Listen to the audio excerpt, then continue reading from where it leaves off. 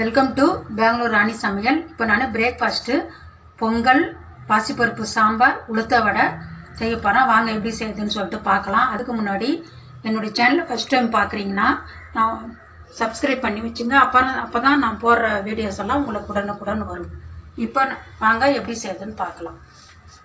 பொங்கலுக்கு பாருங்கள் ரெண்டு ஸ்பூன் ஜீரகம் ஒரு ஸ்பூன் மிளகு கருவேப்பிலை கொஞ்சம் பொடியாக கட் பண்ணது இஞ்சி கொஞ்சம் துருவி வச்சுருக்கிறேன் பச்சை மிளகா நாலு வச்சிருக்கிறேன். பாசிப்பருப்பு சாம்பாருக்கு.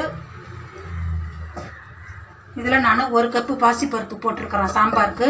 அதுக்கு ஒரு கத்திரிக்காய் ஒரு கேரட்டு பச்சை மிளகாய் மூணு ஒரு நாலஞ்சு பல் பூண்டு பாசிப்பருப்பு கூட சேர்த்து வேக வைக்கணும். உளுத்தம் வடைக்கு இரநூறு கிராம் உளுத்தம் பருப்பு நான் ஒரு மணி நேரம் ஊற வச்சு நல்லா கெட்டியாக ஆட்டி வச்சிருக்கிறேன்.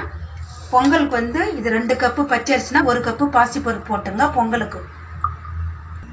பொங்கலுக்கு நான் பாசிப்பருப்பை லைட்டாக வறுத்துக்கிறேன். ரொம்ப வறுக்காதீங்க லைட்டாக வறுத்துங்க.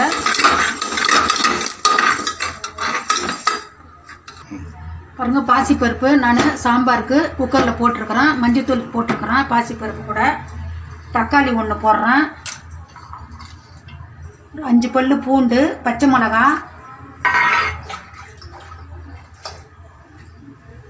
கட் பண்ணின ஒரு கேரட்டு ஒரு கத்திரிக்காய் போட்டிருக்கிறேன் பாசிப்பருப்பு கூட கத்திரிக்காயும் கேரட்டும் பொடியாக கட் பண்ணி போட்டிருக்கிறோம்.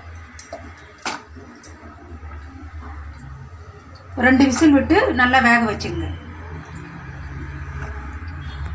பாருங்க சாம்பாருக்கு இந்த பாசி பருப்பு கூட கொஞ்சோண்டு புளி இதில் நான் பருப்புலேயே சேர்த்துட்டேன். பாருங்க இப்போ பொங்கலுக்கு நான் தாளிக்கு போகிறேன் எண்ணெய் ஊற்றிருக்கிறேன் எண்ணெய் காஞ்சிருச்சு.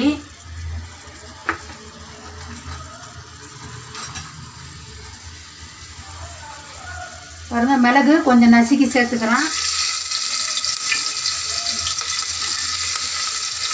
பச்சை மிளகா ஒரு மூணு. கருவேப்பில்லை கொஞ்சம் பொடியாக கட் பண்ணது. இஞ்சி கொஞ்சம் துருவிருந்து அதை சேர்த்துக்கலாம் ஜீரகம் ஒரு டீ டீஸ்பூன்.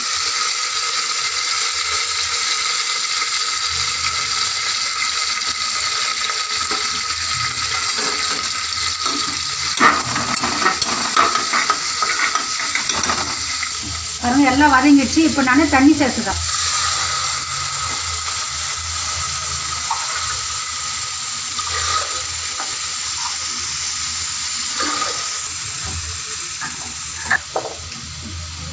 பாருங்க நான் தண்ணி ஊற்றிட்டேன் உப்பு சேர்த்துக்கிறேன்.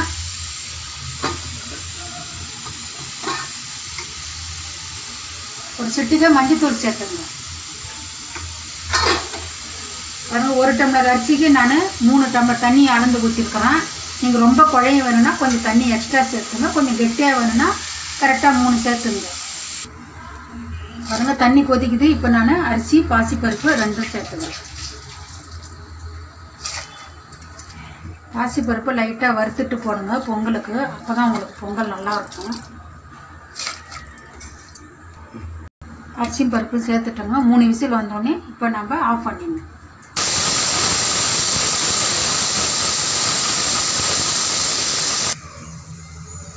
பாருங்க சாம்பாருக்கு தாளிக்க போகிறேன் எண்ணெய் காஞ்சிருச்சு கடுகு சேர்த்துக்கிறேன். கொஞ்சம் ஜீரகம் சேர்த்துருக்கிறேன் காஞ்ச மிளகாய் ரெண்டு கருவேப்பில்லை. கொஞ்சம் பொடியாக கட் பண்ணது வெங்காயம்.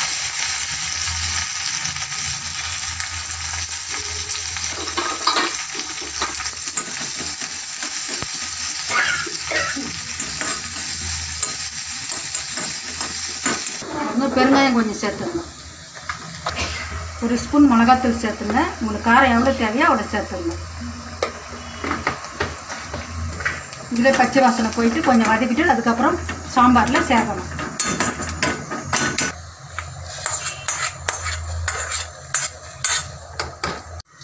பாருங்க சாம்பார் நான் பருப்பு வேக வச்சுட்டேன். வெங்காயம் காஞ்ச மிளகா பெருங்காயம் கருவேப்பிலை கொத்தமல்லி எல்லாம் போட்டு தாளித்து போட்டிருக்கிறேன். கொதி வந்துருச்சு. ரெடி ஆகிடுச்சு சாம்பார். இப்போ கடைசியாக கொத்தமல்லி தழை சேர்த்துக்கலாம் சாம்பார் ரெடி ஆகிடுச்சு பாருங்க உளுத்த வடைக்கு நான் பருப்பு கொஞ்சமாக தண்ணி தெளித்து கெட்டியாக ஆட்டி எடுத்து வச்சுருக்கிறேன்.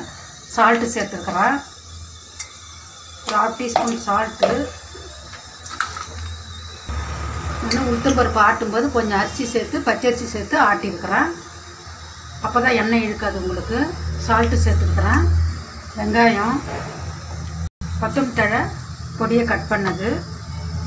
கொஞ்சம் இஞ்சி துருவி வச்சுருக்கேன். பச்சை மிளகா ரெண்டு சேர்த்துருக்கேன். நீங்கள் காரம் எவ்வளோ தேவையோ அவ்வளோ சேர்த்துங்க கருவேப்பில்லை நீங்கள் பருப்பு ஆட்டும்போது கொஞ்சமாக அரிசி சேர்த்துங்க அப்போ தான் உங்களுக்கு எண்ணெய் இழுக்காது வடை. கொஞ்சமாக அரிசி சேர்த்து இதுமாரி கட்டி உளுத்து பருப்பு கூட ஆட்டும்போது கொஞ்சம் பச்சரிசி சேர்த்து அரைச்சிங்க. இல்லை அப்படி பச்சரிசி நீங்கள் இல்லைன்னா அரிசி மாவு கூட சேர்த்துக்கலாம். அரிசி மாவு சேர்த்திங்கன்னா கொஞ்சம் எண்ணெய் இழுக்காது உங்களுக்கு. கெட்டியாக தண்ணி தெளித்து இந்த மாதிரி கெட்டியாக ஆட்டிங்க வடைக்கு அரிசி மாவு சேர்க்கறதுனா வடை கொஞ்சம் முறுமுறுன்னு உங்களுக்கு சூப்பராக வரும் வடை.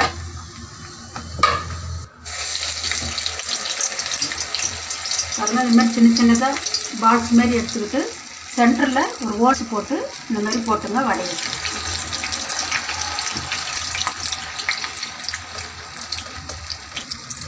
இது கட்டியாக எடுத்து பால்ஸ் மாதிரி எடுத்துக்கிட்டு சென்டரில் ஒரு ஓல்ஸ் போட்டு இந்த மாதிரி போட்டுருங்க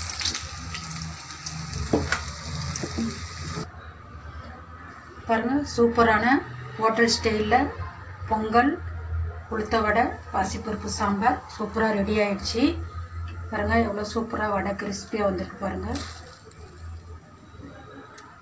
பாசிப்பருப்பு சாம்பார் ரெடி ஆயிடுச்சு.